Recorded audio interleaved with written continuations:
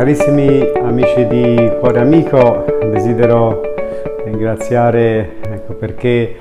la vostra vicinanza consente alla nostra missione in Libano di tenere attive le adozioni e in particolare la cucina,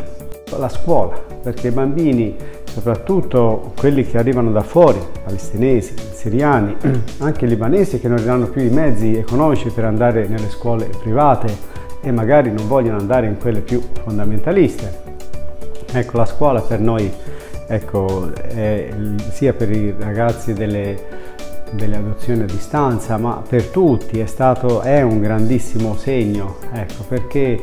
perché la, missione significa aiutare i poveri a riscoprire la presenza di Dio, che sia che tu sia povero o ricco, ti dà sempre il respiro per parlare, il tempo per muoverti, per diffondere parole di amore, ma ti dà sempre anche un'intelligenza da utilizzare e questa ce l'hai sempre. E quindi quando in un clima di accoglienza, di accompagnamento, è bello vedere ragazzi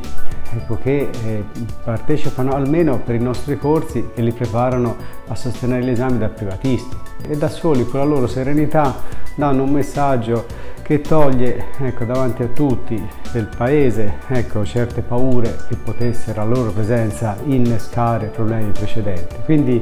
eh, Dio agisce sempre nel momento presente, nel dono dell'amore e mettere prima di tutto a frutto i doni che ci concede con la creazione e ce li concede sempre. Vedere persone povere, sorridenti incoraggia tutti, ecco, quantomeno nel momento presente. Si chiedono aiuti certo e pubblicità materiali e a vicenda nella medesima chiesa ci incoraggiamo a essere ognuno missionario a casa propria. Visita il nostro sito cuoreamico.org o contattaci allo 030 37 57 396.